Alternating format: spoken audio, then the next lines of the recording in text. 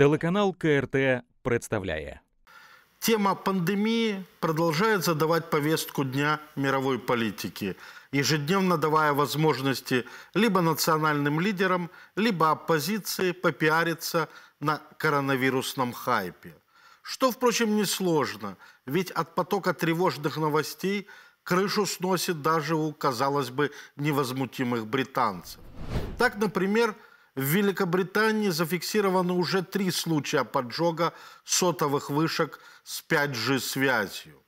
В многотысячных группах в социальных сетях утверждают, что коронавирус появился в китайском городе Ухань, потому что там недавно запустили 5G. А теперь вирус распространяется во всех городах, в которых есть 5G. Да я и сам, наткнувшись на новость в зоопарке Нью-Йорка коронавирус подхватила тигрица Надя, подозревают смотрителя, так и побоялся прочитать, каким образом она его подхватила. В то же время Китай, судя по всему, уже выходит из эпидемии и отказывается от ограничительных мер. В ряде европейских стран, похоже, наступил перелом к лучшему, а вот в США COVID-19 продолжает собирать свою скорбную жатву. На момент выхода программы количество заразившихся, скорее всего, преодолеет рубеж в 400 тысяч, а умерших в 10 тысяч. Однако, благодаря своей харизме, Дональду Трампу удается сохранить небольшой перевес тех, кто считает его деятельность по борьбе с эпидемией позитивной, над носителями негативных оценок. А благодаря триллионным раздачам денег – Абсолютное большинство американцев по-прежнему поддерживает экономическую политику президента. И общая оценка деятельности Трампа по-прежнему находится на рекордных величинах в районе 46-47% одобрения, всего на 2-3% уступая числу недовольных. Однако объективные экономические показатели, в отличие от биржевых, залитых рекордными финансовыми потоками от ФРС – весьма тревожны. Так, со ссылкой на международное рейтинговое агентство Moody's, влиятельнейшая The Wall Street Journal утверждает, что меры по борьбе с распространением коронавируса, предпринимаемые федеральными властями и правительствами штатов, парализовали более четверти экономики США. По оценке агентства, в результате карантинов и прочих ограничительных мер – Падение дневного ВВП США составило 29% по сравнению с ситуацией до введения карантинных мер в начале марта, или примерно 20 миллиардов в день. Один только штат Калифорния теряет по 31,5% дневного ВВП, что составляет 2,8 миллиарда долларов. Понятно, что на таком фоне Дональд Трамп пытается сделать упор на готовность американской медицины к коронавирусу, вопреки противоположным заявлениям оппонентов. Так, в достаточно тяжелом состоянии находится премьер-министр Великобритании Борис Джонсон, который с диагнозом коронавирус находится в отделении интенсивной терапии. По сообщению The Guardian, в рамках курса лечения он проходит кислородную терапию, однако искусственная вентиляция легких ему не требуется. И Дональд Трамп не только пожелал выздоровления своему союзнику, но и предложил медицинскую помощь в лечении британского премьер-министра. Как сообщает все та же «Гардиан», Трамп встречался по этому вопросу с американскими фармацевтическими компаниями и направил в Лондон группу медиков. Но я бы на месте лечащих врачей Бориса Джонсона проявил бы бдительность, так как свою беседу Дональд Трамп провел с главами компаний, которые разрабатывают экспериментальные препараты против коронавируса. Так что Джонсон может оказать либо неоценимую услугу всему человечеству, если экспериментальный препарат подействует положительно, либо внести свой вклад в науку по принципу «отрицательный результат – тоже результат». The Guardian бесстрастно уточняет, что Трамп последовательно продвигает противомалярийный препарат гидроксихлорохин в сочетании с антибиотиком азитромицином – как изменяющий ход борьбы с коронавирусом. А вот информационное агентство Reuters, опираясь на информированные источники, утверждает, что президент США лоббирует непроверенное лекарство от вируса, оказывая давление на санитарные власти для того, чтобы быстрее выпустить на рынок препарат от малярии в качестве лекарства от коронавируса. При этом препарат не прошел необходимые тесты. Сатирик Энди Боровец из издания The New Yorker, традиционно иронизирующий над Дональдом Трампом, на этот раз разродился фильетоном «Трамп рассчитывает на Нобелевскую премию по медицине». Цитата. «По словам Трампа, Нобелевка у него в кармане благодаря его новаторскому применению гидроксихлорохина. Я столько говорил о гидроксихлорохине, что люди решили, что я его изобрел, заявил Трамп. А изобретателям таких лекарств полагается Нобелевская премия. Президент подчеркнул, что отсутствие у него медицинского образования не мешает ему ее получить. Наоборот, заметил он, тот факт, что я не врач, делает мои медицинские достижения еще более впечатляющими. По словам Трампа, он надеется, что Нобелевский комитет справедливее распределяет премии по медицине, чем премии мира.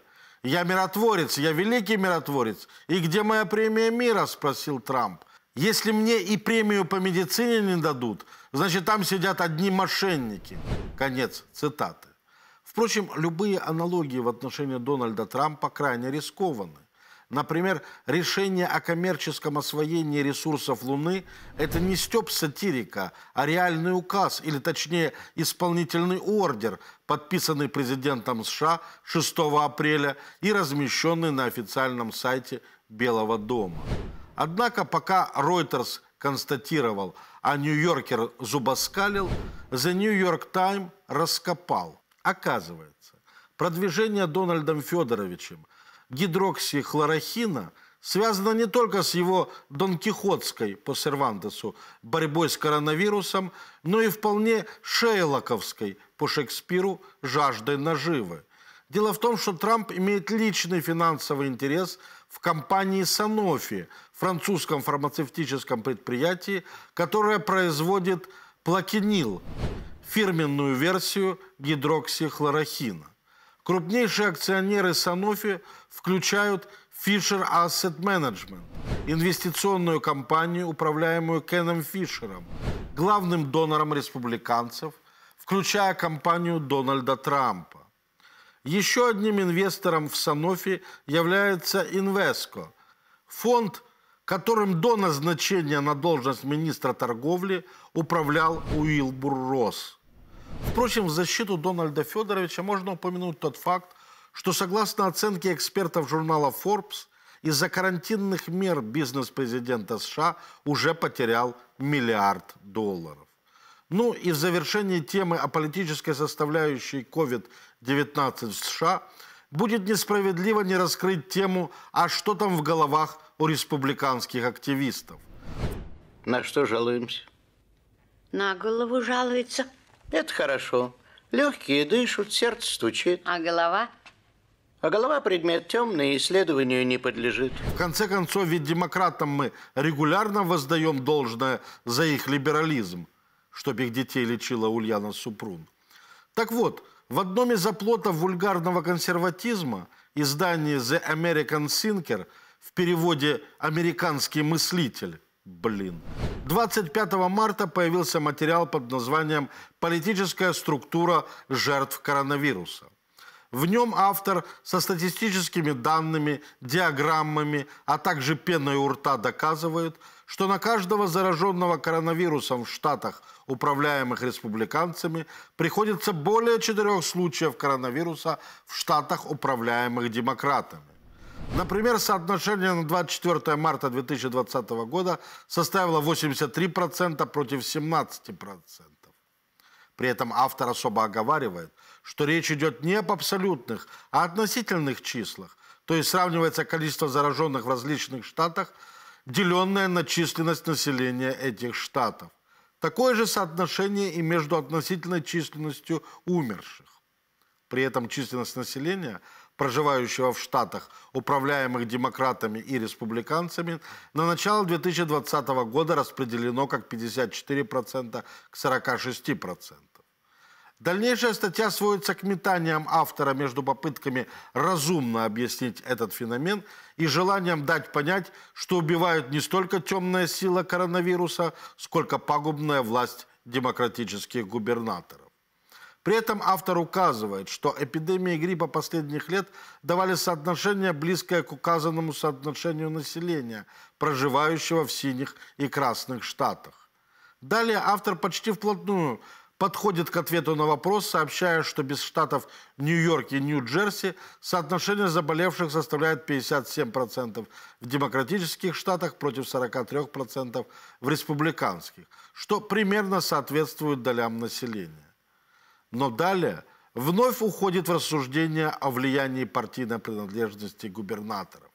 А ведь на самом деле ларчик просто открывался. Синие, то есть демократические штаты, намного более урбанизированы, нежели красные, республиканские, что предполагает в разы большее количество социальных контактов, способствующих распространению коронавируса. Кроме того, синие штаты в абсолютном большинстве находятся на Тихоокеанском и Атлантическом побережьях. И там расположены крупнейшие аэропорты, осуществляющие связь США со всем миром. Впрочем, автор статьи Гарри Гиндлер, наш бывший соотечественник, и статью он, скорее всего, писал с партийной ненавистью к демократам, возможно, даже напевая «И летели на землю демократы под напором стали и огня». С другой стороны, даже в самом ангажированном материале может содержаться немалая доля объективности. Так, губернатор штата Висконсин, демократ Тони Эверс, принял вполне разумное решение о переносе праймерис на 9 июня в связи с пандемией коронавируса. Тем более, что ранее в 15 штатах, а также на ассоциированной территории Пуэрто-Рико были приняты решения о переносе первичных выборов либо замене их голосованием по почте. Однако, состоящий преимущественно из демократов, Верховный суд Висконсина принял мудрое с точки зрения коронавируса решение, признав, что губернатор превысил свои полномочия и праймерис должно состояться именно 7 апреля. В результате сотни тысяч жителей Висконсина потянулись на избирательные участки, чтобы распределить 84 мандата на предвыборный съезд Демократической партии между Джо Байденом и Берни Сандерсом, а заодно лишний раз поддержать статистику распределения заболеваемости COVID-19 в соответствии с партийностью губернатора штата. Хотя в данном случае демократ Тони Эверс ни при чем.